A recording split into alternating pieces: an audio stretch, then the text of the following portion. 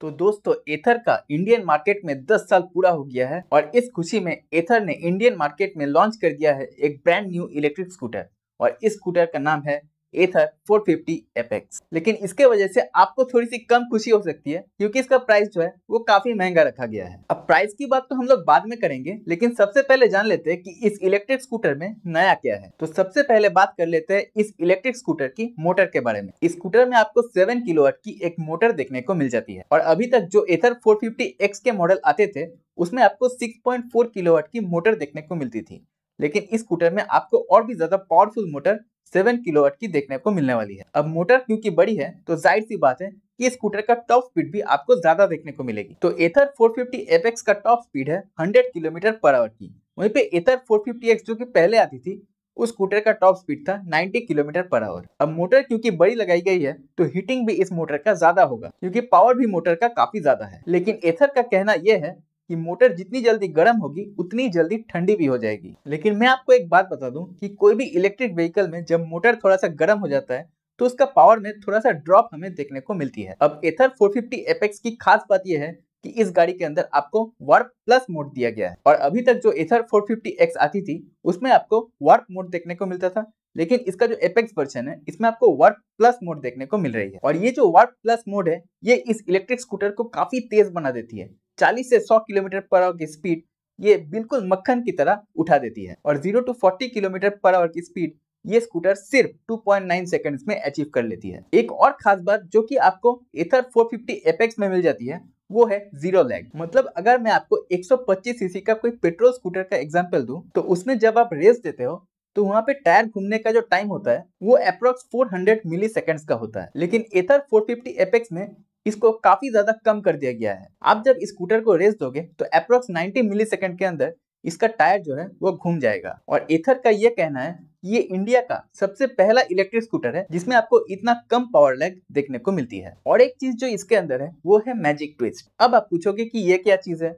तो भाई देखो, ये सिर्फ़ नाम बदला है। पहले जो एथर 450X में रीजेनरेटिव ब्रेकिंग आती थी, ये वही टेक्नोलॉजी पर बेस्ड है। लेकिन कोई भी इलेक्ट्रिक स्कूटर में जो रीजेनरेटिव ब्रेकिंग होती है वो 80 से 100 परसेंटेज के बीच काम नहीं करती है। लेकिन एथर 450 एपेक्स के अंदर आपको 100 परसेंटेज में भी रीजेनरेटिव ब्रेकिंग का ऑप्शन देखने को मिल जाएगी। और इसी टेक्नोलॉजी को एथर ने मैजिक ट्विस्ट का नाम दिया है। चलिए अब बात कर लेते हैं उस चीज़ के बारे में, जिसका कोई भी इलेक्ट्रिक व्हीकल में सबसे ज़्यादा इंपॉर्टेंस होती है, और वो है रेंज और रेंज का डायरेक्ट कनेक्शन है बैटरी के साथ।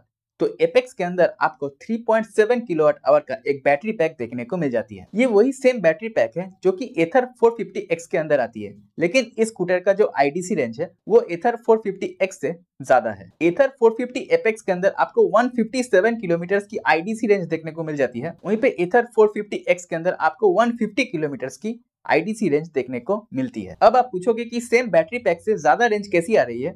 तो सॉफ्टवेयर की मदद से इलेक्ट्रिक व्हीकल में थोड़ी सी ऊपर नीचे किया जा सकता है। राइडिंग मोड्स की बात करें तो एथर 450 एपेक्स के अंदर आपको चार राइडिंग मोड्स देखने को मिल जाती है। पहला है इको मोड दूसरा है राइड मोड तीसरा है स्पोर्ट मोड और फाइनल मोड है warp plus mode charging time की अगर बात करें तो एथर 450 एपेक्स को आपको 0 टू 80 परसेंट चार्ज करने में 4 आवर्स 30 मिनट्स का टाइम लगने वाली है और 0 टू 100 परसेंट चार्ज करने में 5 आवर्स 45 मिनट्स का चार्जिंग टाइम लेती है। बूट स्पेस की अगर बात करें तो 22 लीटर का बूट स्पेस आपको एथर 450 एपेक्स स्कूटर में देखने को मिल जाती है। अब सस्पेंशन की अगर बात करें तो इस स्कूटर में आपको फ्रंट के अंदर आपको टेलीस्कोपिक सस्पेंशन देखने को मिल जाती है। वहीं पे रियर सस्पेंशन की बात करें तो रियर में आपको मोनोशॉक सस्पेंशन देखने को मिलती है। एथर स्कूटर्स हमेशा अपने अच्छे ब्रेक्स के लिए जाना जाता है। एथर बाइबर की डिस्क ब्रेक्स यूज़ करती है।